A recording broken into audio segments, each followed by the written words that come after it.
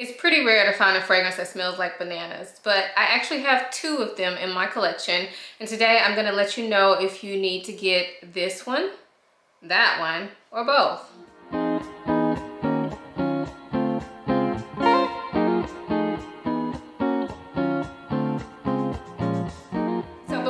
Into the video, I do want to quickly introduce myself for those of you who may be new here. My name is Ayesha. I make videos about fragrance, beauty, luxury, and lifestyle. If those are things that you're into, please consider subscribing.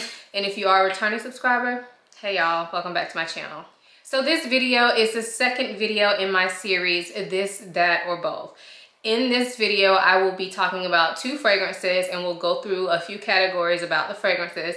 And then I'll tell you at the end whether I think you should get one, the other, or both. So I decided to compare these two fragrances because they both feature the banana note and I think they're quite similar. So the first fragrance that I have is this one from L'Artisan Parfumeur and this is Bana Banana. The second fragrance that I have is from Comptoir Sud Pacifique and this is Vanille Banane. So first, let's talk about packaging. So I have Bana Banana in the 100 ml bottle. I'm pretty sure this is the only size it comes in, um, except for like a travel spray. But as far as the bottles, this is how they look. And I happen to really love it. This is a black toned transparent glass. So you can definitely see through it, but the glass is like black tone. It's very, very nice. It's a sheer black, if, if you will. And then the bottle is in this hexagon shape top is as well. And the label is just this plain white um, it almost feels like a linen material but I'm pretty sure it's just some sort of paper. But it doesn't feel like the kind of paper that like if it gets wet it would get destroyed. Hopefully that makes sense. But I think the bottle is absolutely beautiful. It is hefty. Um, it feels luxurious in your hand as it should. And yeah I really love the packaging on this. For Vanille Banane from Comptoir Sud Pacifique. This is what the bottle looks like. Like all the Comptoir Sud Pacifique bottles look. It is a glass bottle. It is silver tone, but it is a little bit transparent. Hopefully you guys can see that. Maybe hard to see with my lights. I apologize, but the label here is just a plain label on the front. My bottle is a one ounce bottle, I believe. Yes, a one ounce bottle. However, this does come in a 3.4 ounce bottle and the bottle looks the same. It's just bigger. So um, I think the 3.4 ounce bottles may look a tiny bit better just because I feel like the cap is more proportionate to the bottle, but overall the packaging is the same. So if I had to pick a winner in the packaging contest, I mean, is there a question? but we all know packaging isn't everything, so let's continue on. Now let's get to the most important part, the smell. For Bana Banana, this one smells like banana for sure, but it smells like a banana floral. So it may be like banana flower or banana leaf, but it definitely has some greenness, mm, a slight bit of greenness to it along with the banana. And I also smell a bit of powderiness in this one and vanilla. So this is like a sweetened banana, vanilla, kind of musky scent with a little bit of floral nature to it. Although this is kind of a more simple fragrance, I don't think that it smells cheap at all. And sometimes when we're talking about like sweet gourmand or sweet fragrances, sometimes when they're too simple, I feel like they smell cheap. This one does not smell cheap. This one smells like a high-end banana fragrance. So this would be like your grown-up Laffy Taffy version with a little bit of florals and powder mixed in there. Now fragrances can be worn by anyone, but I think it's important to give you guys my take on if it's masculine, feminine, or unisex. And I think this is probably more feminine. I just can't imagine a man wearing this scent. Although it is technically marketed as unisex, I can't imagine a man smelling like this. So Vanille Banane is more of a candied banana scent. To me, this smells like banana Laffy Taffy. And I'm, I'm not saying that in a bad way because I actually really love the way this smells. So yeah, it definitely smells like that sweet Laffy Taffy smell. So this is a mix of banana and vanilla. And then there's also some rum in this fragrance and you can definitely smell all of that at the beginning. However, as this fragrance dries down and wears on your skin, in my case, I lose that banana not immediately, but I lose it probably about two hours into wearing this fragrance. Um, but the initial spray, this one is very like Laffy Taffy scented and then as it dries down, it becomes more of just like a vanilla with some rum in the background. Now, I do think this fragrance is unisex. I still think it leans a bit more feminine, but because of the rum in this, I kind of feel like I can picture a man wearing this a little bit more than Bana Banana. Um, however, I still wouldn't want my man smelling like this, but you know, I've never smelled this on a man, so don't let that statement discourage you. I just could not picture my man wearing this. It To me, it still smells a bit more feminine. So now let's talk about projection and longevity. I'm just gonna start out by saying that neither one of these fragrances have beast mode, projection, or longevity. What I have been doing with both of them is layering them with a banana scented lotion. The one that I have here is, I don't even know the brand, but I'm gonna show it to y'all.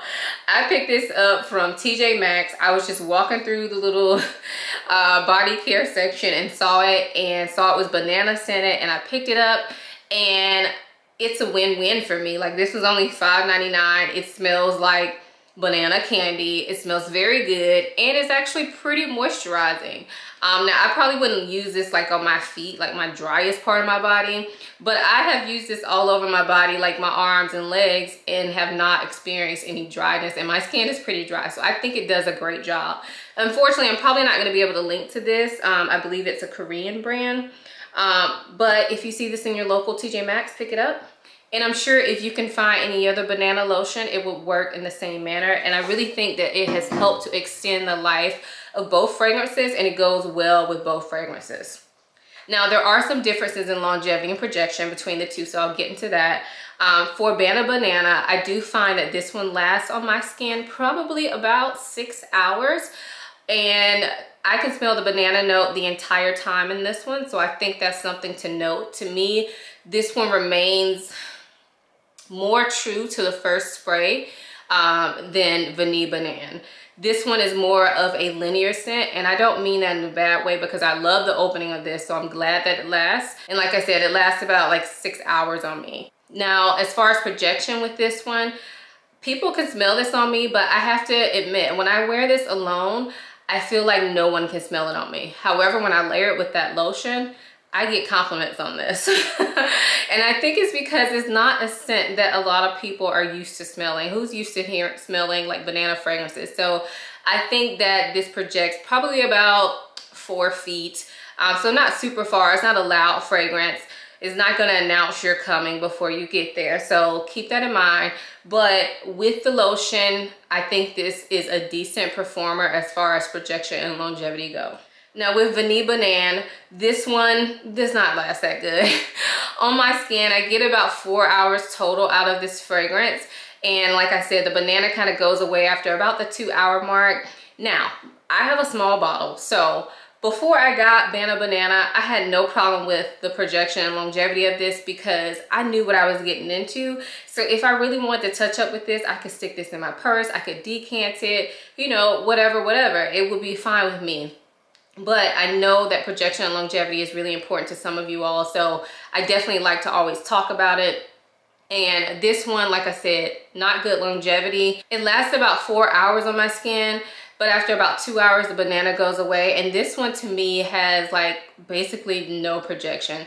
I do think people can smell it on you when you first spray it because my husband has complimented me on this before. But that was like literally me spraying it in the same room as him. Other than that, nobody's ever mentioned it but I can smell it on myself when I wear it, which I think is actually more important than other people smelling it. Um, however, me being able to smell it on myself without it becoming a skin scent is only about two hours. Then it becomes more of a skin scent. Not a huge problem because I think of this more as a novelty scent. However, um, I'm sure that makes a big difference to some of you all. So there's a huge price difference between these two fragrances. Bana Banana retails for $185 for a 100 ml bottle.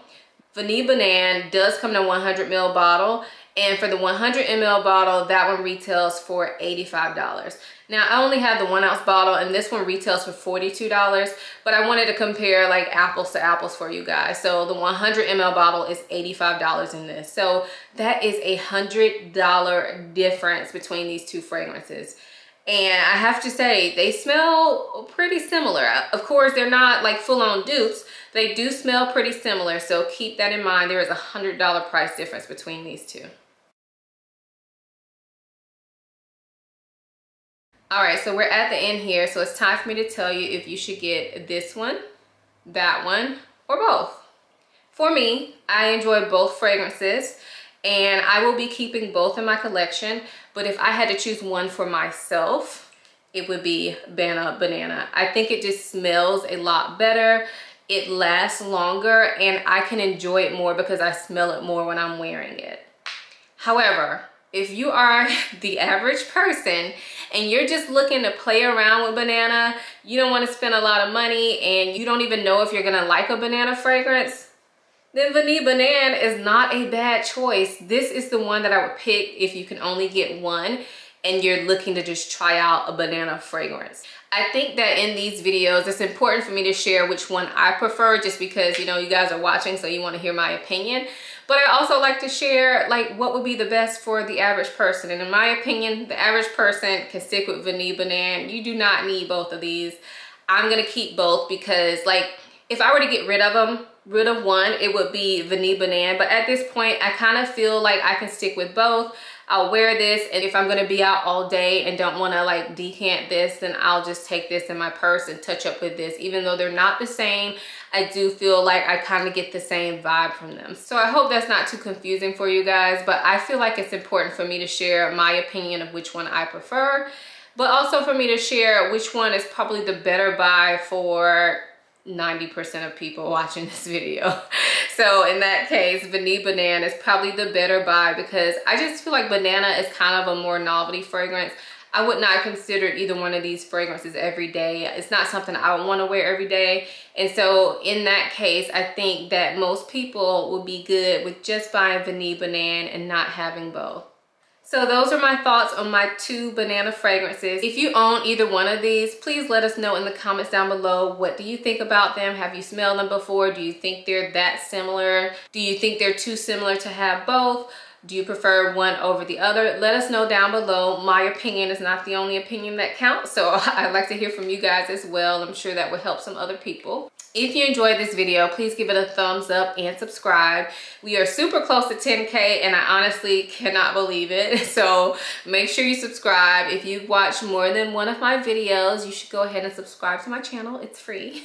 Also, make sure you're following me over on Instagram. I do like to share more things over there on the go and it's just a quicker way for me to communicate with you guys. Thank you guys so much for watching. I hope you enjoyed the video. I enjoyed making it and I will see you in my next one. Bye.